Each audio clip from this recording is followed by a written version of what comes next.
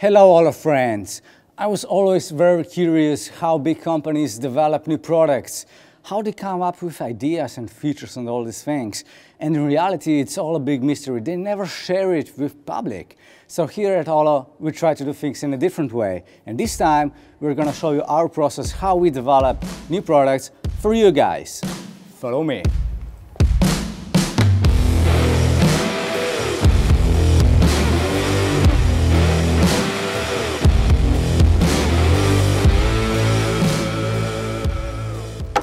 All right, so for example, how did we came up with the S4R model after we already had the S4 on the market?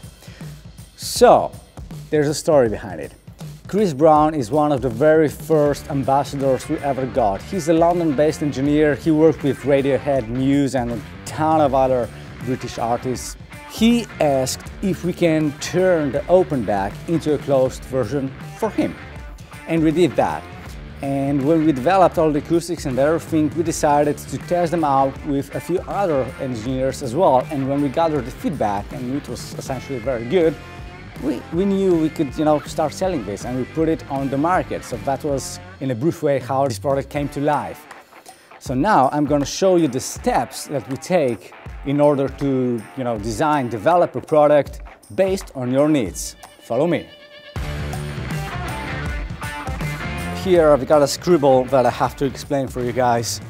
So we have this in four steps. Any development of any product at OLLO goes through four steps or four phases if you wish. So the first one we just call customer or customer development phase.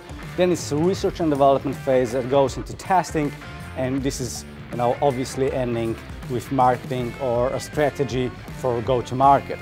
And all of these phases, they have limitations. So for example, customer cannot be just anyone. You can't say that these headphones will fit everybody.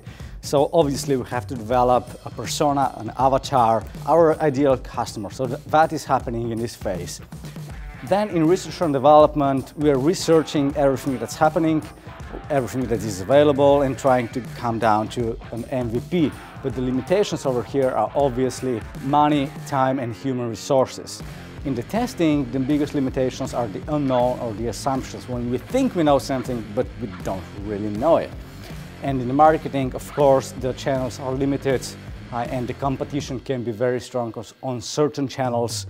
Uh, so these are, again, the limitations in how you can uh, actually be successful in this phase in marketing your product. So to briefly explain what's, what's uh, scribbled over here, when you have an idea, uh, you basically try to get a, uh, a, sense of the current state or how a customer is currently working on a problem, working around the problem, what is he using. So for example, with all of this could be customers are using traditional uh, studio monitoring and on the other side they're using headphones and everything in between, right?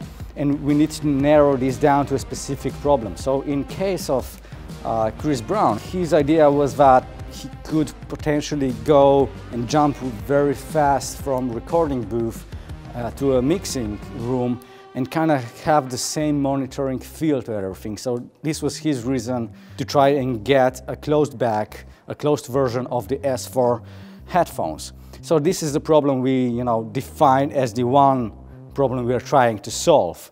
And then in the, the research phase, uh, we of course check the competition and there's a lot of closed back headphones out there.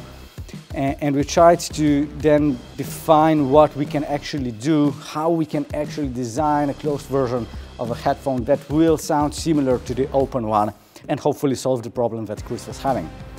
So we designed a prototype and in testing phase we sent it out to Chris and to a bunch of other engineers. We gathered the feedback and finally had a prototype that could be actually sold on the market. So we did a small batch, I think it was 20 or 40 headphones.